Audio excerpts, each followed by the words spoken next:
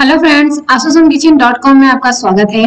आज मैं आपके संग शेयर करने जा रही हूँ। ये बहुत ही ज़्यादा soft spongy tutti frutti eggless tea time cake इसको आप बना के अपनी चाय को और भी ज़्यादा टेस्टी और मज़ेदार बना सकते हैं। इस रेसिपी को बनाना बहुत ही आसान है। ये सबको पसंद भी आएगा केक तो चलिए देखते हैं कैसे बनाते हैं ये eggless tutti frutti tea time cake recipe पसंद आए लाइक शेयर एंड कमेंट्स कर देना। चैनल पे नया है तो सब्सक्राइब करके बेल आइकन को हिट करना ना भूलना। तो यहाँ पे सबसे पहले मैं ले लूँगी एक मिक्सिंग बाउल एक छोटी सी कटोरी है, इसमें मैं डाल रही हूँ one third cup mix colour की टूटी फ्रूटीज आप अपने पसंद की टूटी फ्रूटीज ले सकते हैं और उसी में एक चम्मच मैदा डाल के इसको अच्छे से मैं मैदे में कोट कर दे रही हूँ। इसका रीजन ये है कि हमारी टूटी फ्रूटी हमारे केक बैटर में अंदर बिल्कुल बेक होने के बाद श्रिंक नहीं होंगी और नीचे बैठ नहीं जाएँगी। तो ये रेडी हो गई है, इसको हम साइड रख लेंगे। अब दूसरी तैयारी हम करते हैं। यहाँ पे एक और मिक्सिंग बाउल ले लिया है। इसमें डाल दूँगी मैं one fourth cup cooking oil ये राइस ब्राइन ऑयल है। आप चाहे तो कोई भी अनफ्लेवर वाला कुकिंग ऑयल ले सकते हैं। और इसी में मैं डाल रही हूँ हाफ़ कप फ्रेश कर्ड ये मेरे घर का जमाया हुआ दही है। आप चाहे तो मार्केट का भी दही यूज़ कर सकते हैं। और दही जो है, वो रूम टेम्परेचर पे होनी चाहिए। इस बात का आप खास ध्यान रखें। और पाँच मिनट तक ऑयल और दही को हम अच्छे से मिक्स कर लेंगे विस्कर की हेल्प से।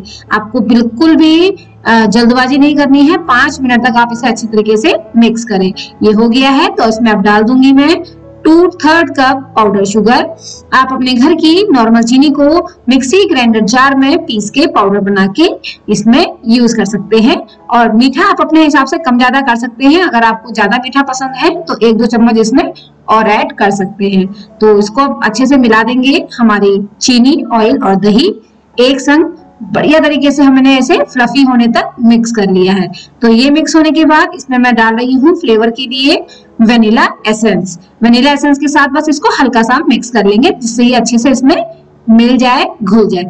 तो अब मैं इसमें ड्राई इंग्रेडिएंट ऐड करूँगी। उसके लिए सबसे पहले छानने के लिए छन्नी रख ली है।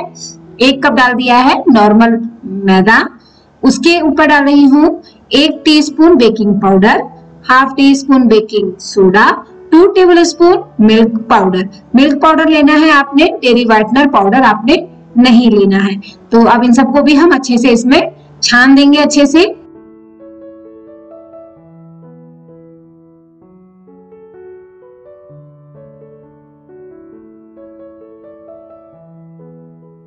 ये छानना ज़रूरी है, इस बात का विशेष ध्यान रखें।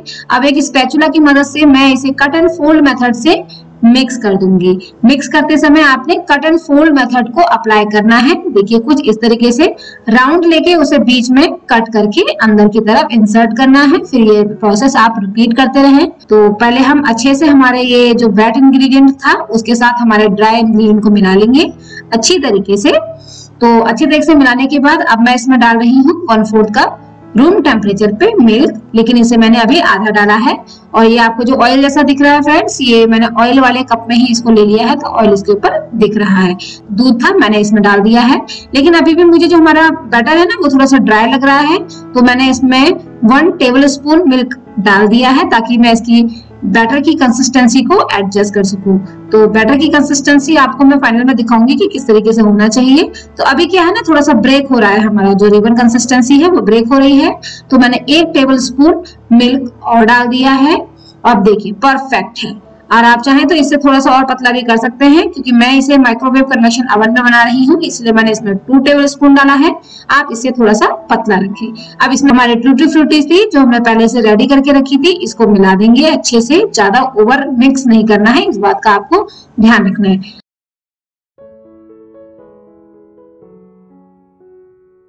अब मैं इसमें डाल रही हूँ one tea fresh lime juice सिरके का इस्तेमाल नहीं कर रही हूँ मैं।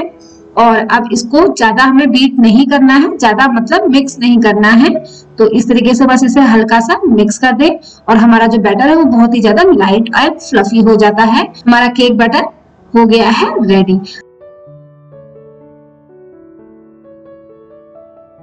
अब यहाँ पे मैंने ले लिया है सिक्स इंच का केक टीन और इसे मैंने ऑयल से ग्रीस करके नॉर्मल मैदे से डस्ट करके अच्छे से कोट कर दिया है। और आप चाहे तो बटर पेपर का भी इस्तेमाल कर सकते हैं। इसमें हमारा सारा बैटर डाल देंगे। तो अब इसको डालने के बाद मैं अच्छे से इसको पूरी तरीके से फैला दूँगी, क्योंकि ये स्क्वायर वाला है तो इसमें जो बैटर है ना, वो अच्छी तरीके से हमको कोने कोने तक फैलाना होता है। और साथ ही इसको टैप भी करते रहना है। अब मैं इसमें ऊपर से स्प्रिंकल कर रही हूँ, थोड़ी सी मिक्स टूटी फ्रूटी ये तो सबको बहुत ज़्यादा पसंद होती है, बच्चों को तो ये बहुत ज़्यादा पसंद होती है। तो इसको आप डालें ऊपर से, आप ज़्यादा डाल सकते हैं। मैंने इसे बस अपनी टेस्ट के अकॉर्डिंग डाला है। अब हमारे केक बैटर को मैं रख दूँगी हमारे प्री हीटेड करे हुए माइक्रोवेव कन्वेक्शन अवन पे। 180 डिग्री सेल्सियस पे मैंने इसे प्री हीट कर लिया है। हमारे केक टिन को मैंने इसमें रख दिया है। अब इसे 15 मिनट के लिए मैं बेक होने के लिए स्टार्ट करके रख देती हूँ।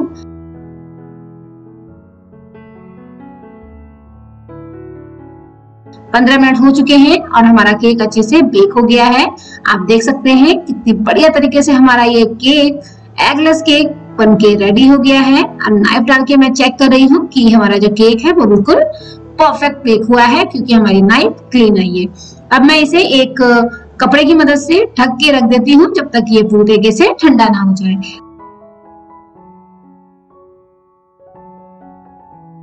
हमारा केक अच्छे से ठंडा हो गया है।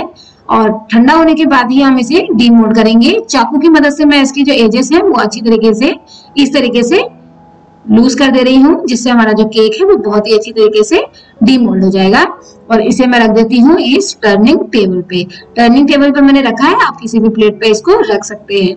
और आप देख सकते हैं, मैं इसे प्रेस कर रही हूँ, ये फिर से दबने के बाद ऊपर अपनी शेप में वापस आ जा रहा है। दैट्स मीन हमारा जो टी टाइम केक है ये बहुत ही ज़्यादा सॉफ्ट फ्लफी और डिलीशियस बना है। अब मैं आपको इसको काट के भी दिखा देती हूँ, ताकि आप लोग भी इंजॉय कर पाए इस केक को बना के। देखिए, कितना सॉफ्ट फ्लफी स्पॉन्जी है।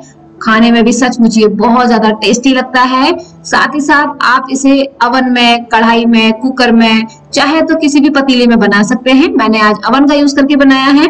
तो चलिए जरा देखें इसे और नज़दीक से कि ये केक किस तरीके से बना है। वाओ देख सकते हैं सुपर जाली है इसके अंदर और कितना स्पॉन्जी है, दबा रही हूँ, फिर से अपनी शेप को ये होल्ड कर ले रहा है। इसका मतलब हमारा जो केक है, वो सचमुच बहुत ही ज़्यादा टेस्टी बना है और परफेक्ट तरीके से बेक भी हुआ है। तो आप भी ट्राई करें इस केक की रेसिपी को। ये सचमुच बहुत इजी है, आसान है। अगर आपको अवन माइक्रोवेव कन्वेक्शन अवन में नहीं बनाना है कढ़ाई में बनाना है प्रेशर कुकर में बनाना है तो उसके लिए आप मुझे कमेंट्स करें, मैं आपको उसका टाइमिंग शेयर कर दूँगी। तो मिलती हूँ मैं आपसे एक और नई रेसिपी के साथ, तब तक के लिए बाय बाय